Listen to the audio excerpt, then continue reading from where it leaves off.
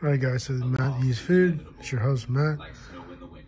Uh, so we're looking at hors d'oeuvres, um, potato skins, quesadillas, uh, poppers.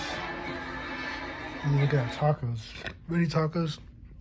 So three P's are price, presentation, portion. So the price is for all this, uh, looking at like twelve to thirteen dollars.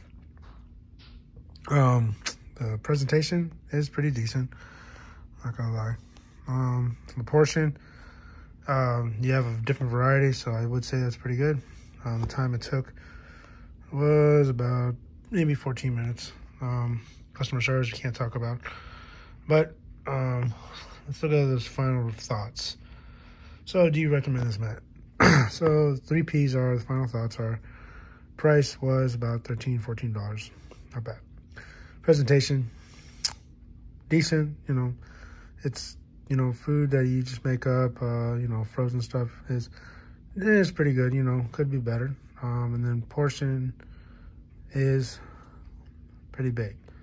Um, so the final thoughts are that I do uh, for nice and easy, you know, like tired day, you know, uh, finger food, or you know, have you have a big party of people, you know, just snacky food for like games or whatever. Or, you know, any kind of, any kind of celebration, um, I do recommend going here, uh, having this type of food, nice and easy. Uh, so, final thoughts are is that I would recommend this kind of food for just basic.